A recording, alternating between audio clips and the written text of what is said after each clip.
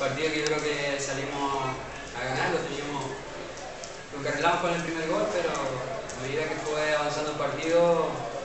apretó mucho el Viña. Y nada, ya con, el tema de las expulsiones pues nos hemos visto mermados, ya físicamente nosotros no estamos muy brillantes porque llevamos casi un mes entrenando, hemos bajado quinto en los entrenamientos y,